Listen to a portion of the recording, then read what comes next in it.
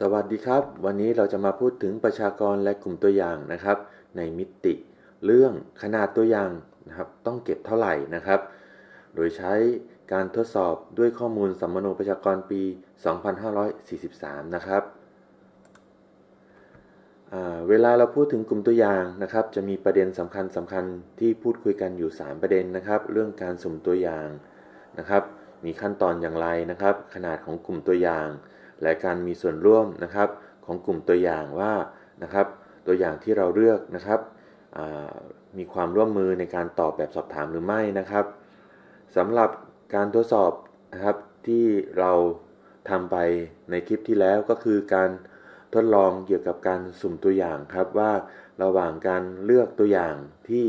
เอาสะดวกของผู้วิจัยกับการสุ่มตัวอย่างตามโอกาสความน่าจะเป็นนะครับ ผลเป็นยังไงซึ่ง ผลเราก็พบว่านะครับการสุ่มโอกาสตามความน่าจะเป็นนะครับ จะให้ความเป็นตัวแทนของกลุ่มตัวอย่างได้ดีกว่านะครับสำหรับคลิปนี้นะครับจะเป็นการทดสอบขนาดของตัวอย่างนะครับ โดยใช้ข้อมูลสัมมโนประชากรนะครับและเคหะปีพศ 2543 นะครับชุดข้อมูล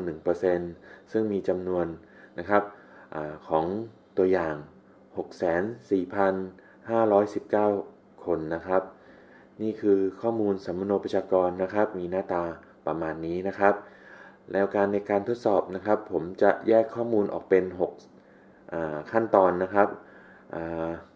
ข้อมูลชุดที่1นะครับจะเป็นการสุ่มเลือกนะครับ ตามโอกาสความน่าจะเป็นนะครับร้อยคนนะครับก็จะเป็นข้อมูลชุดที่ 1 นะครับ ข้อมูลชุดที่ 2 ก็จะเป็นการสุ่มเลือกตามโอกาสน่าจะเป็นนะครับ โดยกำหนดขนาดตัวอย่างที่ 400 คนนะครับสำหรับวิธีที่3นะครับจะเลือกนะครับ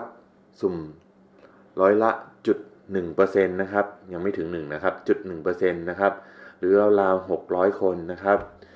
สำหรับวิธีที่ 4 จะเลือกนะครับร้อยละ1%นะครับหรือประมาณ 6,000 คนนะครับ สำหรับวิธีที่5นะครับเป็นงานสุ่มเลือกร้อยละ 10นะครับหรือราว 60,000 คนนะครับ และวิธีสุดท้ายก็คือใช้ข้อมูลทั้งหมดครับจำนวน 604,519 คนนะครับ เป็นเซตข้อมูลที่แทนประชากรนะครับ วิธีการสุ่มตัวอย่างนะครับ ผมก็แนะนำให้ท่านไปชมคลิปนี้นะครับ คือการสุ่มตัวอย่างสำคัญไหมนะครับ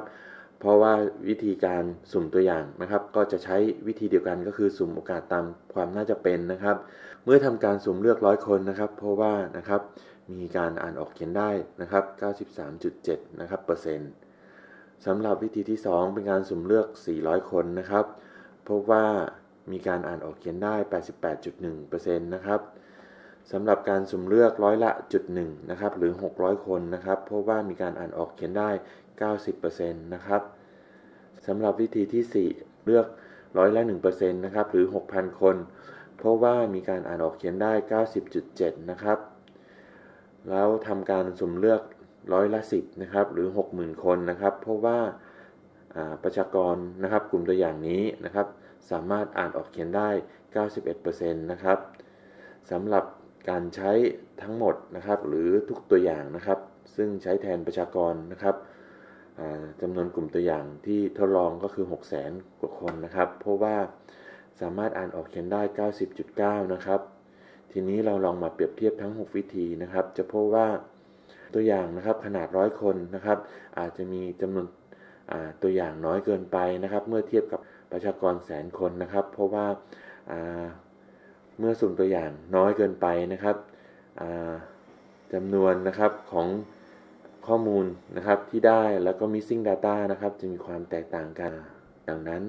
การมี n เพิ่มขึ้นก็อาจจะดีกว่านะครับ ดังนั้นการสุ่มตัวอย่างน้อยๆนะครับ เช่น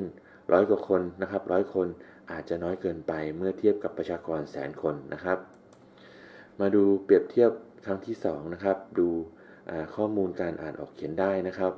พบว่ามีทั้งการอ่านออกเขียนได้และการไม่รู้หนังสือนะครับ และก็ถ้าเกิดเป็น n จำนวนน้อยๆ ไม่เกิน 1,000 นะครับ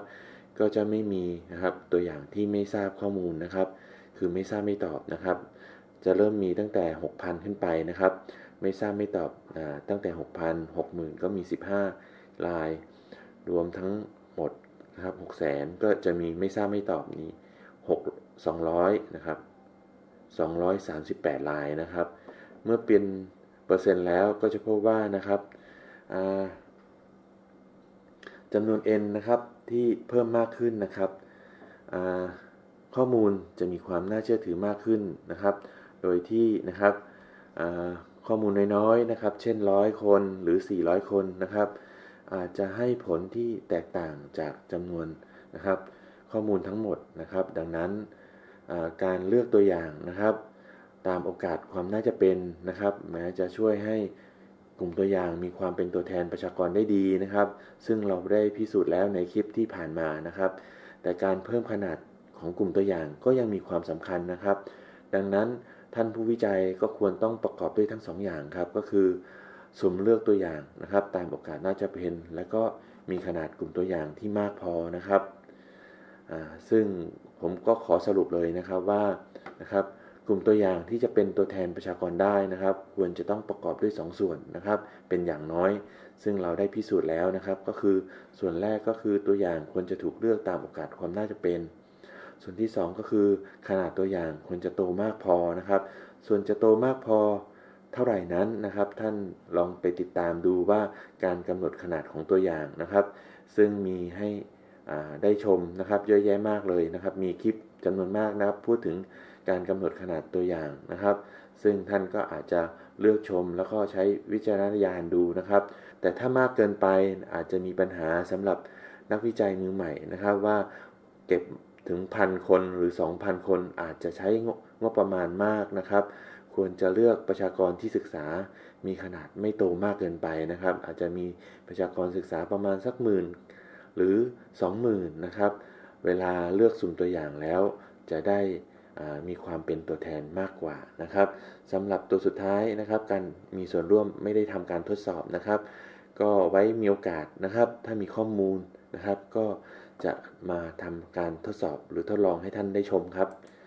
ท่านสามารถติดตามผลงานต่างๆ ผมได้ใน YouTube ให้กำลังใจชอบใจกรุณากดไลค์ต้องการแบ่งปันกรุณากดแชร์ ต้องการติดตามกรุณากด Subscribe ขอบคุณที่ติดตามรับชม สวัสดีครับ